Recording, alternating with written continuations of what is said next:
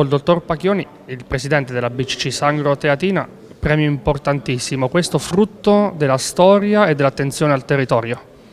Sì, questa è una banca che nasce nel 1903 per volontà di un religioso, Don Epimenio Giannico, e che arriva ai giorni nostri eh, semplicemente ed esclusivamente eh, diciamo così, sul lavoro svolto sul territorio e per il territorio in questi 116 anni di storia che la banca ha.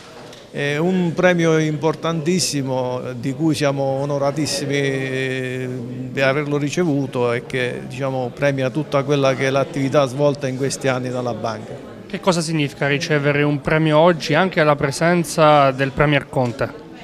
È, un premio importante eh, perché ci, diciamo così, ci accosta forse impropriamente al lavoro che svolgono eh, diciamo così, quelli che sono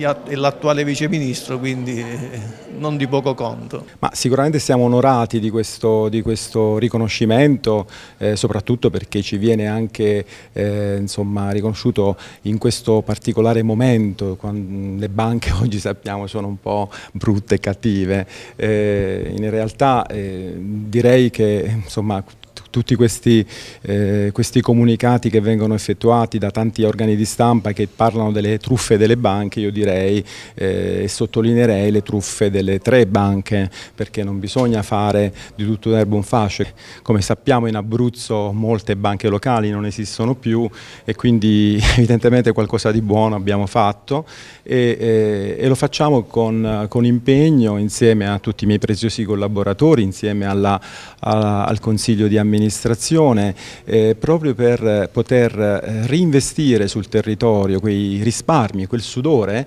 eh, de, delle persone del nostro territorio.